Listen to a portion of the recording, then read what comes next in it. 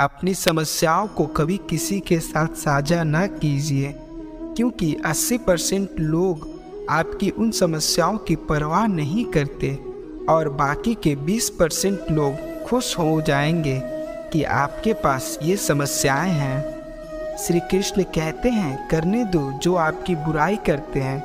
ऐसी छोटी छोटी बातें तो सिर्फ़ छोटे छोटे लोग ही करते हैं। सिर्फ़ धोखा देना ही धोखा नहीं होता, लेकिन किसी के साथ अपनेपन का नाटक करना भी बहुत बड़ा धोखा होता है। हिम्मत नहीं हारना, अभी आगे जाना है। जिन्होंने कहा था तुमसे नहीं होगा, उनको भी करके दिखाना है।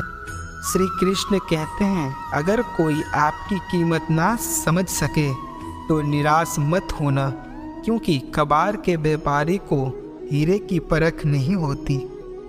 मौन और मुस्कान ये दो शक्तिशाली उपकरण हैं। मौन कई समस्याओं को हल करने का तरीका है और मुस्कान कई समस्याओं से बचने का। कोई भी इंसान ऐसे ही अपने आप को नहीं बदलता।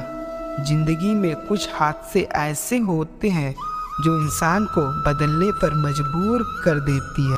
ब्लेड की धार बहुत तेज होती है, परंतु पेड़ को काट नहीं सकती। कुल्हाड़ी मज़बूत होती है, लेकिन बाल नहीं काट सकती। वैसे ही हर इंसान अपनी काबिलियत के अनुसार श्रेष्ठ होता है। इसीलिए अपने आप को किसी और के साथ मत तोलिए। मुसीबतें रुई से भरी हुई थैली जैसी होती हैं।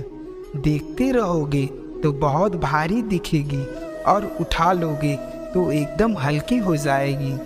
जब परमात्मा को आपसे प्यार होता है तो वो आपके लिए वही करते हैं, जो आपके लिए अच्छा होता है। और उन तमाम लोगों को आपसे दूर कर देते हैं, जो आपके काबिल नहीं होते।